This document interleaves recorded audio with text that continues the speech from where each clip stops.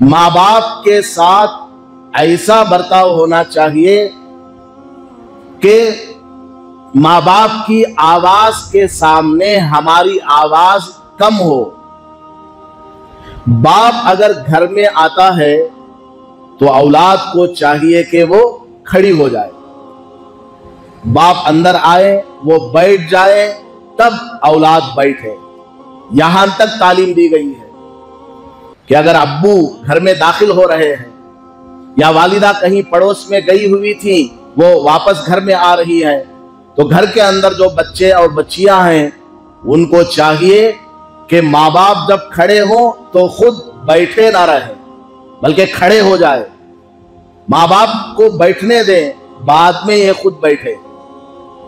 हाँ कोई अहम और ज़रूरी काम में लगे हुए हैं तो फिर मुकम्मल खड़े होने का मौका ना हो तो थोड़ा बहुत जिस्मानी हरकत होनी चाहिए। तो माँ बाप का इतना बड़ा मकाम बताया गया है कि अगर वो खड़े हो तो औलाद ना बैठे, बल्कि वो खड़े हो जाए। माँ बाप को बिठाए, बाद में औलाद बैठे।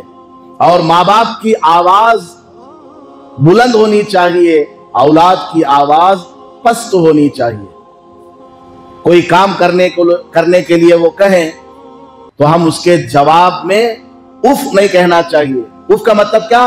बेजारगी को ज़ाहिर करना। कि माँ ने ऐसा काम करने बोल दिया, बाप ने फला चीज़ लाने के लिए कहा, अभी मैं फला काम में मसरूफ हूँ, ऐसा वैसा समझ करके बेजारगी के साथ जवाब देते हुए उफ बोलने से भी मना कर दिया गया। तो उफ बोलना मना है तो उल्टा जवाब देना तो और ज़्यादा मना है। माँ बाप की बात का इनकार करना तो और ज़्यादा मना है।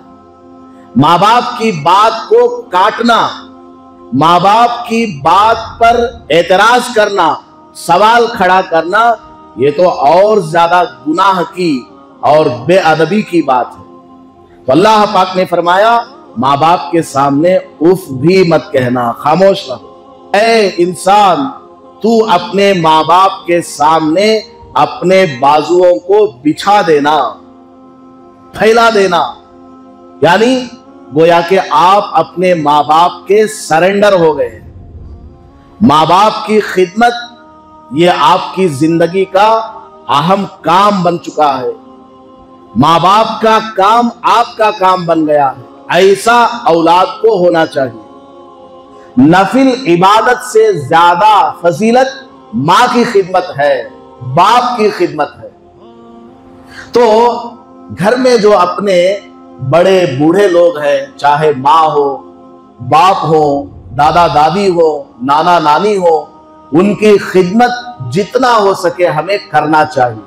चाहे वो अपने बिस्तर पर पेशाब पाखाना करते हो, चाहे रातों में वो बार बार आपको जगाते हो, उठाते हो बार बार एक ही चीज़ पूछते हो, आपने ला करके दे दिया, फिर उन्होंने वही चीज़ मंगाई। उनको याद नहीं रहता। बुढ़े बुढ़े हो चुके हैं ना। जहन कमज़ोर हो गया, दिमाग कमज़ोर हो गया, जिस्मानी आजा के अंदर कमज़ोरी आ गई है। और उनकी जो साथ में रहने वाली बीवी है, उसका इंतकाल हो चुका है। दिमाग हर तरह से उनका परेशान और मुंतशिर रहता है। तो उनका लिहाज करना चाहिए, उनका ख्याल करना चाहिए। कुछ भी बोले, बड़े आदमी है। बूढ़े आदमी है, बुज़ुर्ग आदमी है, वो सिर्फ़ घर में रहे, यही हमारे लिए बरकत की चीज़ है। उलमा ने फरमाया अल बरकतु मा अकाबिरिकुम। तुम्हारे बड़ों के साथ रहोगे, तुम्हारी ज़िंदगी में बरकत आएगी।